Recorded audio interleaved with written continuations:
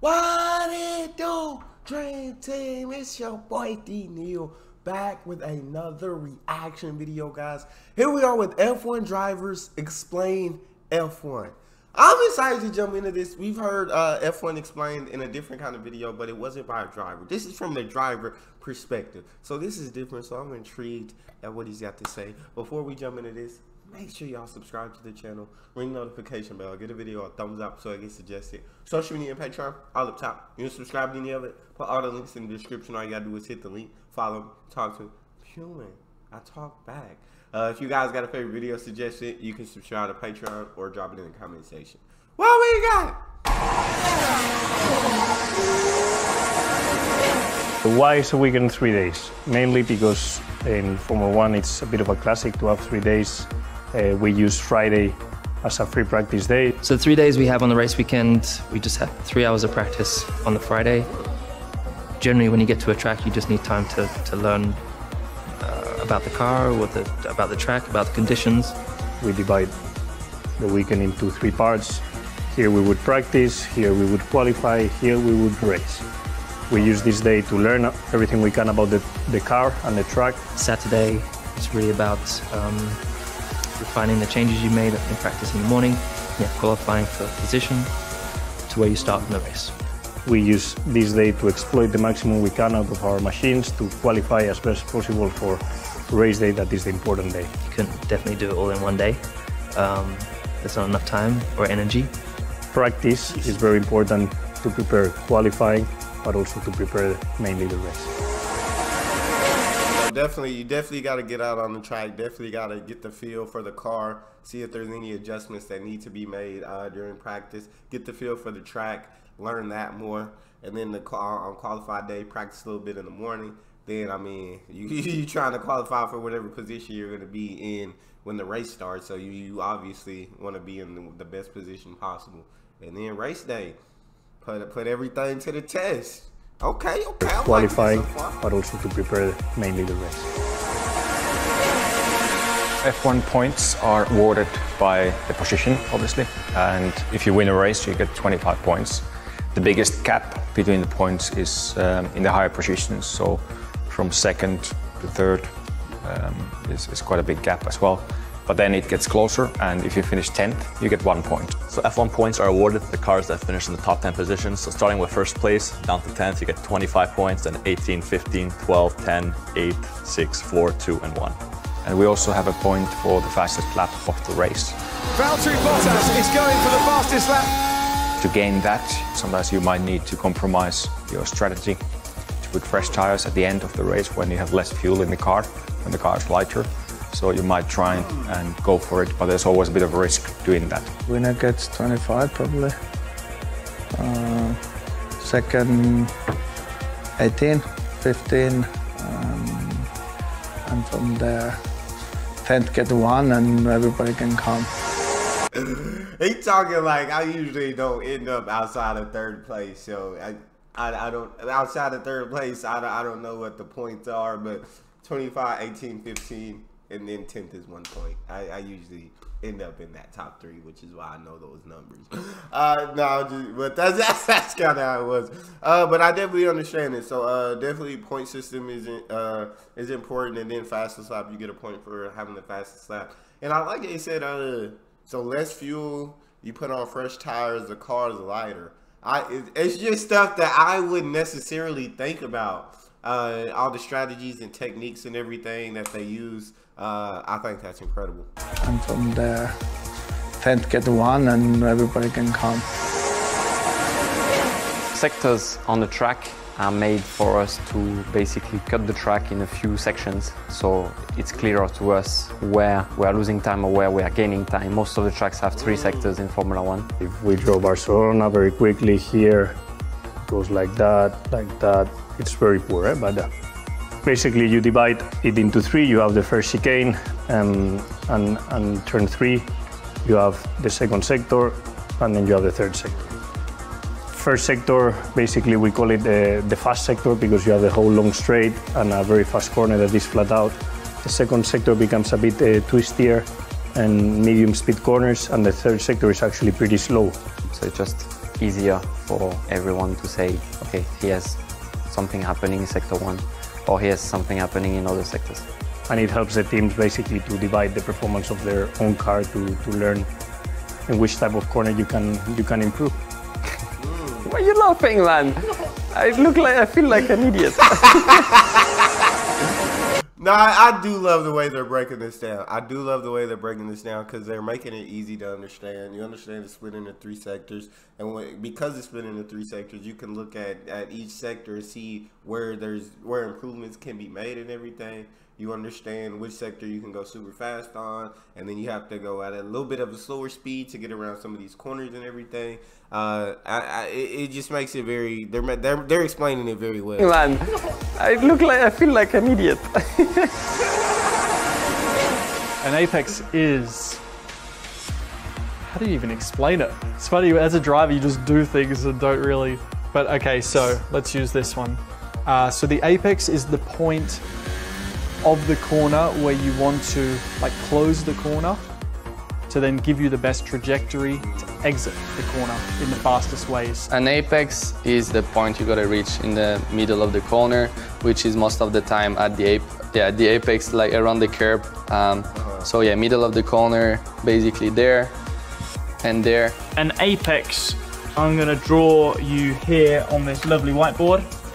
So we've got the racing car here, and I draw the racing line, which is from the outside of the track, hitting the inside of the corner before running wide to the exit of the corner again. The apex is the most central and the slowest part of the corner, but you never know where the grip is. Sometimes it could be more like this, this could be late apex, early apex. You want to come out a little bit higher up top to then flow through apex somewhere here and then come out like that.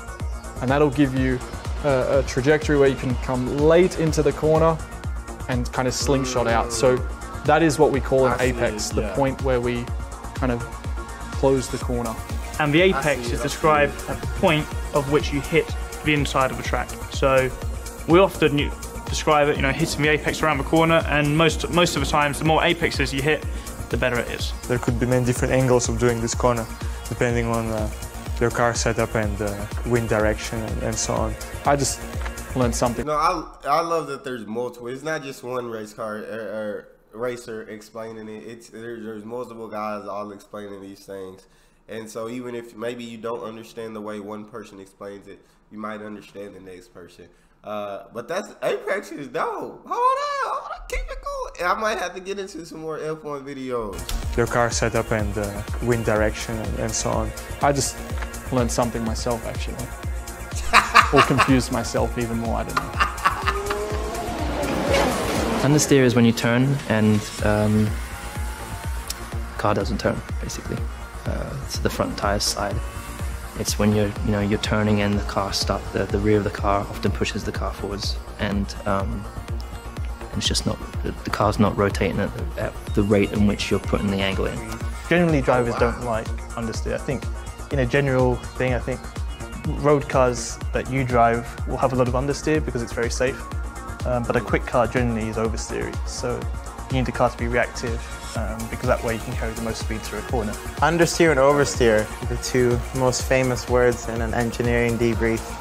Uh, understeer is when the car uh, is not responding to the amount of steering lock that um, that you are um, that you are winding on.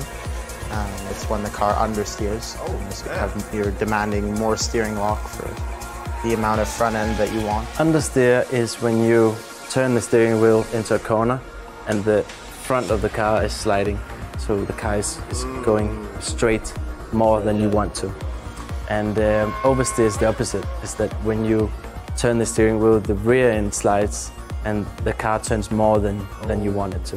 If you ever watch Fast and Furious Tokyo Drift, that is oversteer. Um, so the front, let's say if the trajectory of the car is doing this, let's say we kind of that's kind of what I mean. The front and rear wheels uh, following the line. The rear wheels would go, let's say, past the slip angle, past the line, and uh, tends to mean that the rear is losing grip. So uh, when we complain about oversteer, will generally mean that the rear is moving too much um, and it's moving out of line. So uh, So is it kind of is it is it kind of he said kind of if you watch like Fast and Furious Tokyo Drift that's that's kind of what it is. So it's kind of like drifting, where your your car is just kind of drifting, or is that is that oversteer? That's that's kind of what it sounds like from the way you explained it. Understeer, yeah, sounds bad because you're trying to make this turn and the cars, the front of the car is not turning how you want it to turn, and so it is it's kind of going up to the it's kind of going straight when you're trying to turn. Uh, but oversteer, oof. Like in the back of your car, yeah. Oversteer doesn't sound fun either. Yeah, understeer and oversteer both sound terrible. steer will generally mean that the rear is moving too much um, and it's moving out of line. So uh, yeah, you'll often see spins where we get a snap of oversteer and we uh, we do this. Um, insert one of my crashes. Oh, hey.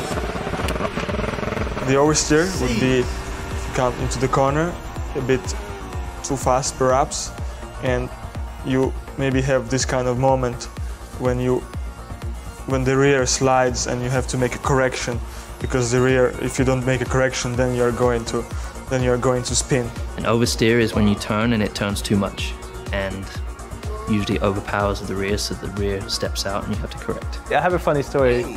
Um, there was a Japanese driver um, who I used to race against in GP3, and I convinced him. He didn't know many, much English, so I convinced him, convinced him that oversteer was understeer and understeer was oversteer. So for the first test, he was complaining of oversteer when he meant understeer, and it was understeer. Yeah. Anyway, I thought that was quite a funny joke, but apparently it wasn't that funny. Lockup is when you basically brake too hard and you exceed the amount of grip available. So the tire basically stops and locks and it like and you kind of uh, get smoke because of the rubber and the friction, I guess, on the tarmac.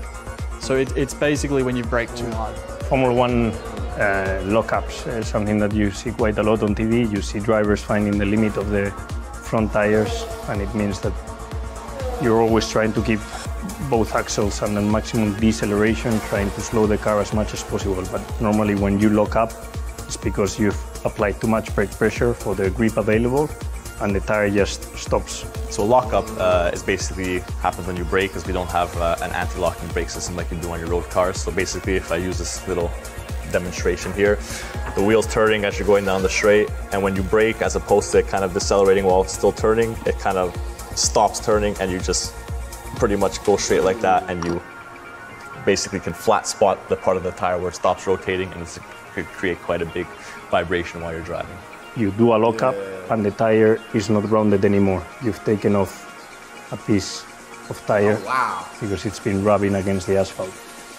Once you have one lockup, then every time you start braking, it's very, it's very easy to hit this part of the tire and keep locking it up. So you start taking even more part of the tire.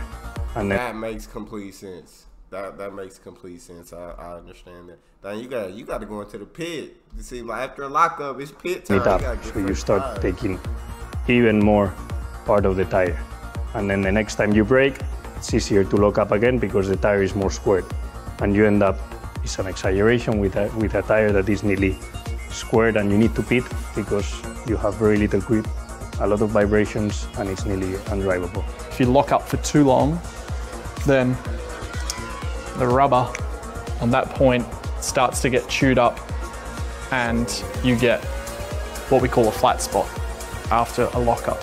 And then you get vibrations, which isn't fun. So a lockup is uh, braking too hard, I guess that's the easiest way to say it.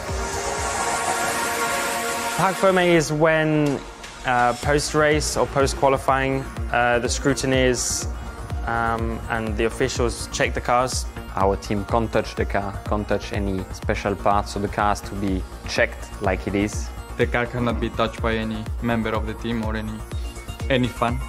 To make sure that there's no cheaters, basically. I like that. Yeah, well, is it that more or less? Yeah, okay. That's uh that was a dope explanation. I absolutely enjoyed that video. I felt like I come out definitely understanding a few more things about F1. Uh, I feel like uh, get into F1 a little bit more and a little bit more and keep learning as I'm going, and then I'll be a full fledged fan. But that's all we got for this one. If you guys got a favorite video you want to see me react to, you can subscribe to Patreon or in the description section, uh, or or you can comment the, uh, your you can comment your suggestion down below. Make sure you subscribe to the channel, ring notification bell, get a video a thumbs up so it gets suggested. Social media and Patreon, all up top. You to subscribe to any? Put all the links in the description. All you gotta do is hit the link, follow me, talk to me. Love talking to you guys. You guys are the most incredible team on YouTube. It's your boy D. Out.